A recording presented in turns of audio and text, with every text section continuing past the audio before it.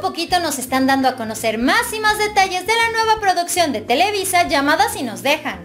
Esta es una nueva versión del éxito que fue la novela Mirada de Mujer.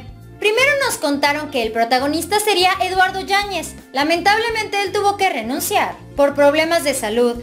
En su lugar entró Alexis Ayala, quien con más de 30 años de carrera, hasta ahora está consiguiendo un papel estelar.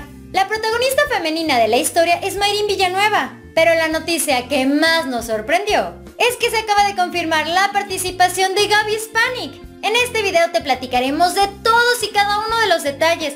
En verdad, no te puedes perder de este video. La nueva producción de Televisa, Si nos dejan, nos platica la historia de una mujer madura, quien encuentra el amor fuera del matrimonio con un hombre mucho más joven que ella.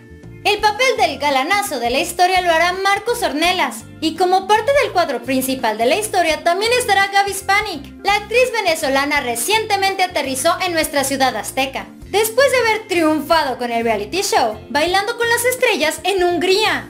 Bastante lejos de México, ella nos demostró que es una excelente bailarina. Ahora Spanik se está incorporando a la producción de Carlos Bardazano. Ella le dará vida al personaje de Fedora, la mejor amiga de la protagonista. Ella es una mujer totalmente liberal, quien no tiene complejos morales. Ella de hecho terminará protagonizando un romance con el hijo de Alicia, personaje interpretado por Mayrin Villanueva.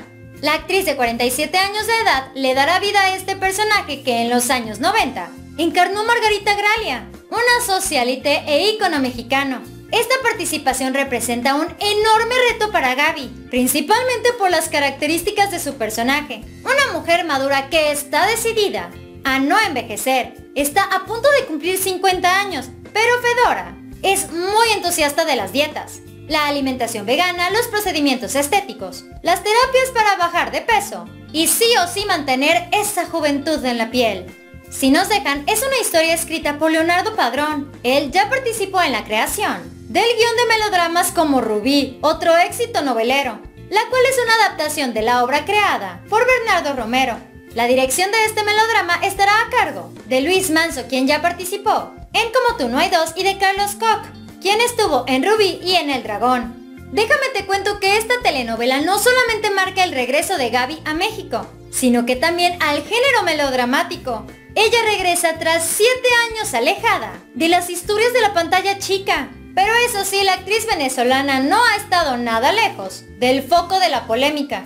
En los últimos meses ella estuvo viviendo un conflicto legal de la mano de Gustavo Adolfo Infante. Esta actriz perdió el largo juicio en contra del periodista y conductor en septiembre pasado. Ellos estuvieron implicados en este proceso legal por aproximadamente un año y medio. Según lo que informó en su momento el abogado del periodista, Gaby Spanik tendrá que pagar una cantidad cercana a los 400 mil pesos mexicanos para cubrir el gasto del procedimiento jurídico, algo que se llevó hasta las últimas instancias. Y es que cada vez que un ente jurídico daba la victoria al periodista, ella solicitaba un amparo, pero todo culminó cuando se dio a conocer la resolución final del caso. Pero bueno, ya dejando atrás ese conflicto legal y regresando a la pantalla chica, después de ya varios años fuera de los reflectores, Gaby está de regreso. Ella regresa a una de las empresas que la vio triunfar, Televisa. A través de redes sociales, ella se mostró muy entusiasmada ya que aseguró, a partir de que hice el casting, me enamoré. Yo quería trabajar en un drama así. Es mi gran regreso a Televisa, con un personaje maravilloso y estoy muy agradecida.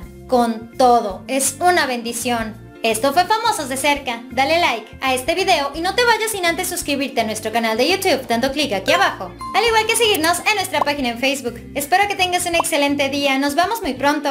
Bye.